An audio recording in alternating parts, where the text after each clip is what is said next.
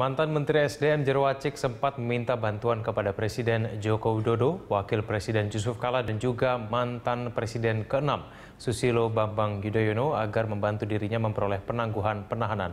Menurut Yusuf Kala, ia akan membantu Jero memberikan pembelaan bila ada unsur-unsur yang keliru dalam kasus Jerwacik.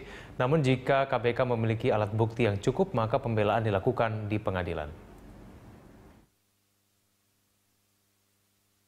Kalau sudah masuk ranah hukum seperti itu tentu kalau memang ada unsur ya kalau sudah masuk ranah hukum seperti itu tentu kalau memang ada unsur-unsur yang keliru kita bela. Tapi kalau memang KPK dapat membuktikannya ya tentu dibelanya di pengadilan.